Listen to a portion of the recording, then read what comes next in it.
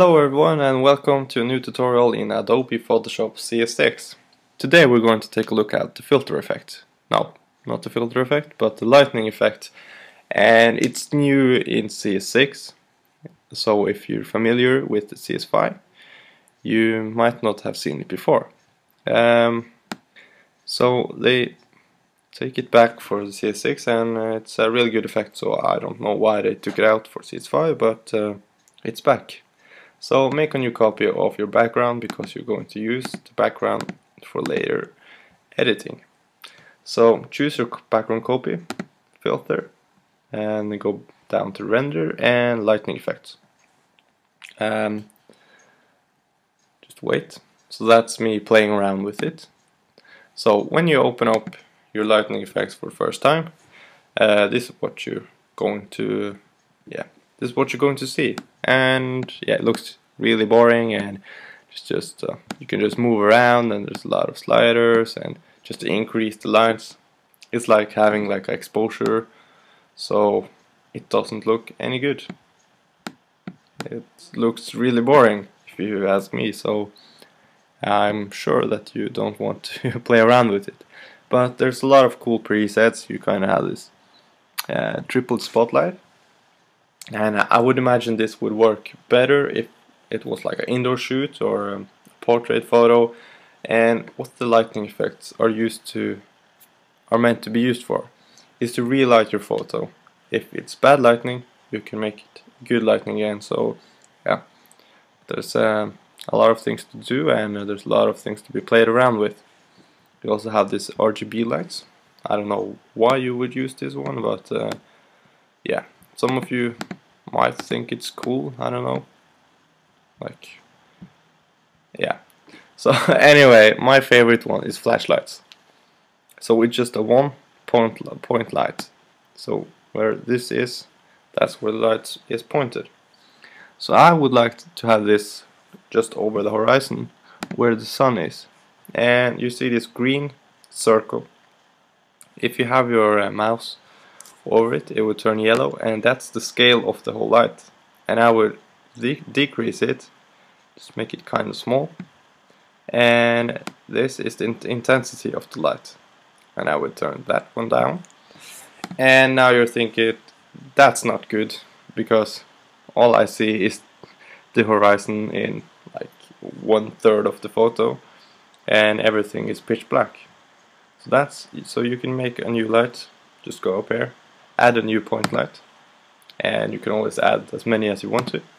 So let's see we add three. And we can just turn them off. And uh, yeah.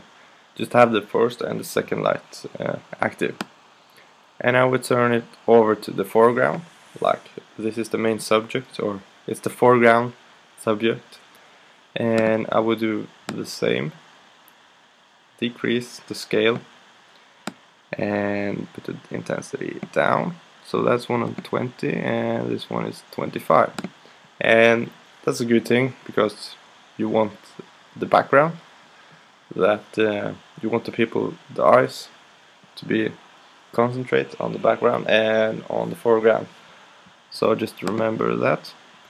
Uh, we can go to the third light because the image is still really dark.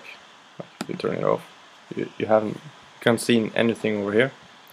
So just again decrease the scale and make the intensity a bit smaller. Move it over here. And now it's really back black down here. And that's okay because you can always change the shadows in uh, Lightroom or Photoshop after you have done this. So that's not a problem uh, because it's landscape photo so you want the whole photo to be lit but there's always something that you want to be that you want to have more lit than other things. So that just looks weird. Um, you could do it like this so you would like have a blast this way. Um, yeah. So remember it's just for tutorial and uh, you have to play around to get the effects that you, you want to.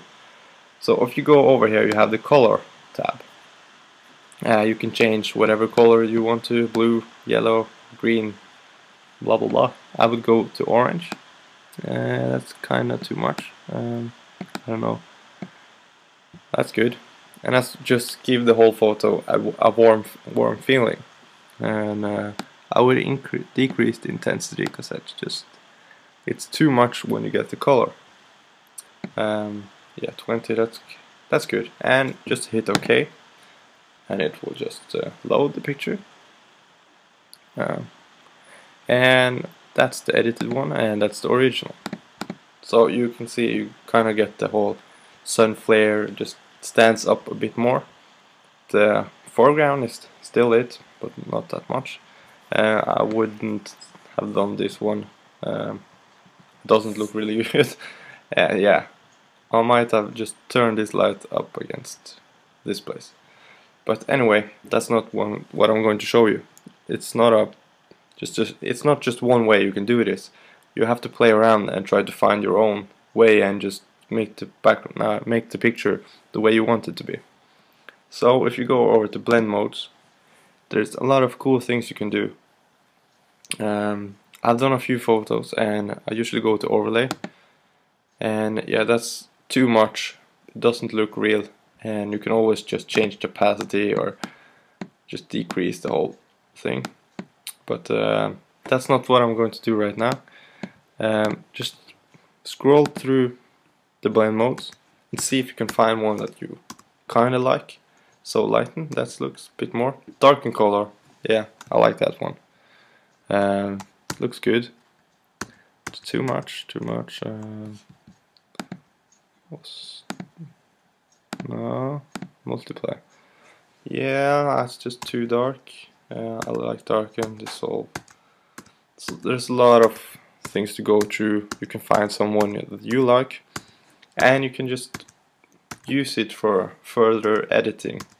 So I would like to use the darker color and you can just take the photo and edit the shadows and kind of light up the foreground and make the sky a bit more blown up and the whole photo will look a lot better so yeah hope you liked the tutorial and uh, you're I hope you find some interesting way to use the lightning effects and if there's other things that you want me to take a take a look at or do a tutorial on please send me a message on YouTube or Google Plus or whatever.